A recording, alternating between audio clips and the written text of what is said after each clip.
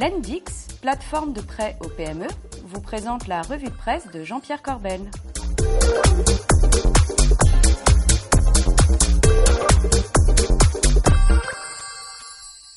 Bonjour, c'est mardi et c'est votre euh, revue de presse avec Jean-Pierre Corbel. Jean-Pierre, bonjour. Bonjour Bogdan. Ça va? Eh bien super, c'est reparti Bogdan pour une revue le monde est fou avec des marchés qui ne nous laissent aucun répit. Figurez-vous, regardez, une semaine pour rien sur le CAC 40, si ce n'est de la volatilité, figurez-vous, pendant que l'Asie et les émergents s'enflamment. Alors ça dépend dans quel sens. Hein. Les émergents plutôt dans le mauvais sens. Et puis le Japon qui nous a fait une hausse en séance de 8% la semaine dernière. Quand je parle de volatilité, ça n'était pas arrivé depuis 2008, figurez-vous. Et pour vous, c'est pas fini Eh bien non, euh, le marché joue les incertitudes. Regardez cet article dans Les Échos, Bogdan. Le marché sera en mode attentiste jusqu'à la réunion de la Fed et jusqu'à ce qu'on ait plus d'informations sur la Chine. Le marché, lui, marche sur des œufs. La probabilité d'un tour de vis monétaire en septembre, le premier depuis 2006, est tombée à 28% contre un pic à 55% en début de mois d'août. Alors, nombreux sont ceux qui restent sur le banc, qui attendent, qui ne font rien. Ils ont retiré leur argent avant la Fed.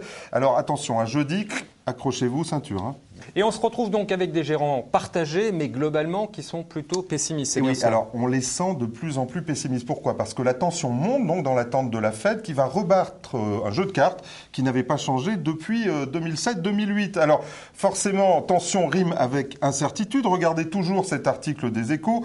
Pour rajouter à la confusion, les conditions financières se sont sensiblement resserrées aux États-Unis. L'indice S&P 500 a chuté de 7%. Le taux de change du dollar s'est apprécié. Les spreads de crédit se sont élargis et les taux réels ont augmenté. Si la Fed augmente ses taux, Bogdan, elle va ouvrir une période très très incertaine dans tous les émergents et ça va être chaud. Mais si elle ne monte pas ses taux, alors on va dire qu'elle s'inquiète pour la locomotive elle-même, pour les États-Unis et à ce moment-là, ça risque de poser un problème à l'économie. On risque de jouer à qui perd perd. Moi, je vous sens affecté, Jean-Pierre. Un peu là. Bon allez, on passe euh, à autre chose et notamment à l'actualité fiscale parce que la bonne nouvelle, c'est quand même que les impôts vont baisser en France. Elle est morte de rire. Ah, Écoutez le ministre des Finances sur le Michel. Cette année, il y a 9 millions de personnes qui sont concernées. Nous aurons 3 millions de plus, pour le dire clairement, 3 millions qui ne sont pas concernés cette année, qu'ils seront l'année prochaine. Donc au total, en deux ans, c'est presque 12 millions de foyers fiscaux. Vous savez combien il y a de foyers fiscaux en France? 17 millions. Donc sur les 17 millions de gens qui payent l'impôt sur le revenu, 12 millions vont voir, ont vu ou vont voir leur impôt sur le revenu baisser. 12 millions sur 17 millions, c'est chaud ça. Vous êtes dedans? Non, mais vous, vous y êtes. Effectivement. Mais est-ce vraiment juste? Moi, je n'y suis pas, c'est sûr. Regardez cet article dans oh, Challenge. Le gouvernement réduit le nombre d'assujettis à 46%, concentrant donc l'impôt sur euh, moins de la moitié des contribuables et dévitalisant un peu plus un impôt sur le revenu dont les recettes représentent en France, figurez-vous, 3% du PIB contre 9% en Allemagne et 10% au Royaume-Uni, alors que c'est le seul impôt en fait progressif et en fait juste, figurez-vous. Donc, traduction, Bogdan, eh bien, il faut que les riches payent toujours plus, ça c'est pour vous. Et puis, pour les plus humbles, eh bien, l'idée c'est que l'impôt soit de plus en plus invisible. Voilà. Très bien.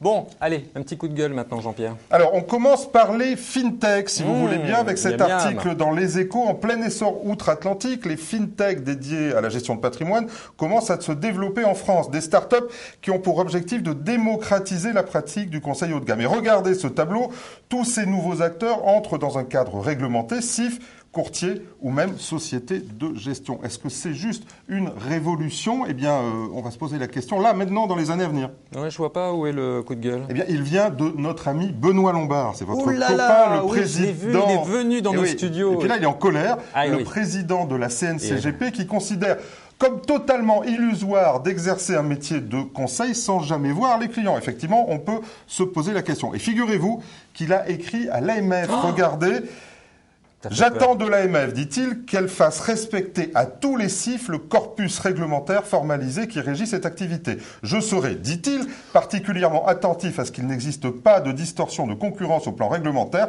entre les CIF que je représente, respectueux d'un formalisme considéré parfois comme tatillon, et ces nouveaux entrants. Et vous avez vu, il y va fort, c'est un vrai débat, ces histoires des fintech. Mais Benoît, est-ce qu'on peut aller à l'encontre d'un mouvement mondial? Telle est la question. Oui, Autre petit euh, coup de gueule, mais le vôtre. Et bien là, c'est moi. Alors figurez-vous qu'en surfant pour cette revue, Oh, je suis tombé. surfer, et ça oui, je surfe. Enfin, mon physique me le permet, si vous voulez. hein.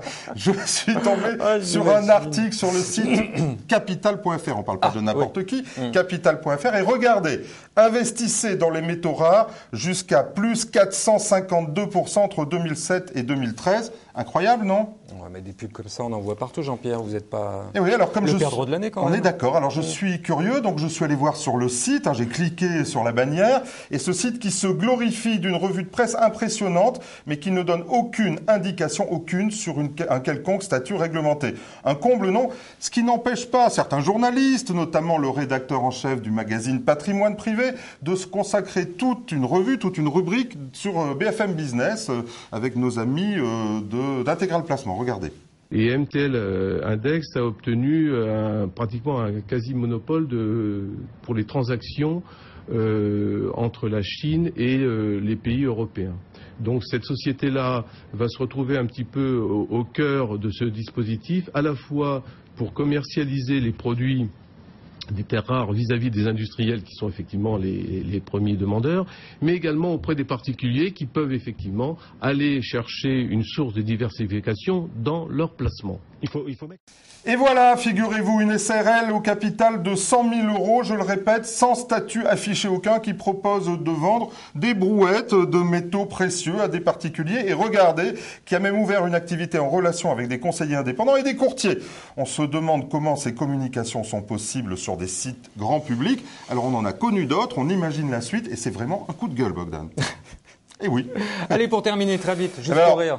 Allez, on a de quoi être énervé, bien sûr, mais là, j'étais mort de rire. Je pense que tout le monde l'a vu. MDR, on dit. Ouais, MDR. Je pense que tout le monde l'a vu. Fleur Pellerin, elle était au petit journal et on visite son bureau. La ministre de la Culture, regardez. Et le grand tableau, là J'imagine que c'est une œuvre du mobilier national. Qui l'a fait Là, on doit mettre le cartel parce que j'ai demandé à plusieurs reprises et en fait, je ne sais pas du tout qui l'a Ah. qui l'a peint. Alors on vous aide, il s'agit d'une œuvre de Jean-Michel Sadejouan. Je me suis renseignée entre temps. Nous aussi.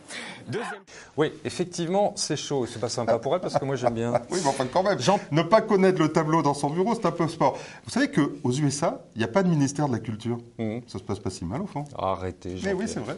Il faut créer des emplois, Jean-Pierre. On en a Ouais, créé. Jean-Pierre, en tout cas, merci beaucoup. À la semaine prochaine, c'est Patrimonia ensuite. On va raconter Yo, des histoires chaud. de Patrimonia.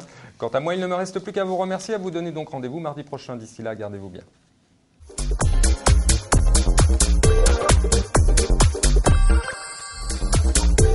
La revue de presse Club Patrimoine vous a été présentée par l'Endix, plateforme de prêt aux PME.